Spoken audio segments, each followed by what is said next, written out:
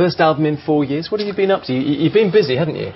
Yeah, well, I did a solo album yeah. two years ago, so you can't really do both things simultaneously, you know, because I wanted to tour that one around the world, and and also there were a few a few personal reasons why we couldn't do it, which uh, it's uh, not my personal reasons, but um, we just needed to, to wait for a bit. Take time out, and yeah. uh, they're resolved now, hopefully. Yeah, everything. Yeah, they're not kind of animosity type. Yeah. Personal things, um, just um, reasons that I can't say. But what's it been like to be back then, as far and actually performing live? What's it's like? great. Yeah. I mean, we did lots of festivals in summer as well. We, we always play at some part of the year, um, and the festivals really got us gelled.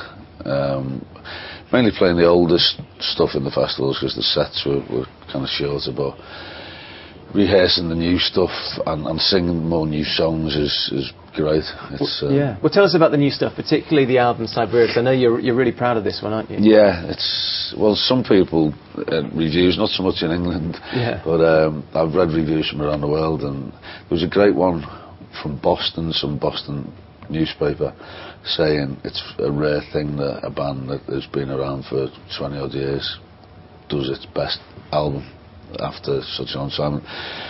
I kind of there's there's parts of that I agree with. You know, there's there's albums in the past that I've got you know a, a total love for, like Ocean Rain, but I think consistency wise and, and quality of song wise, it probably is, is the best.